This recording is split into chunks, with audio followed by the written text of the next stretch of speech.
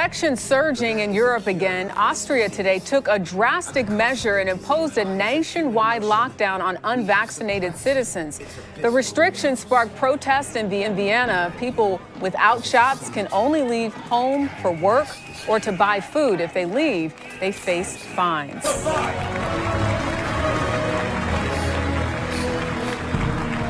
Well, Austria now has announced that there will be a nationwide lockdown uh, for 20 days and that unvaccinated people will continue in the lockdown after that. They also are mandating vaccinations as of the 1st of February. But Libria, I congratulate you, for there is a cure for this disease. At the cost of the dizzying highs of human emotion, we have suppressed its abysmal lows as a society, have embraced this cure.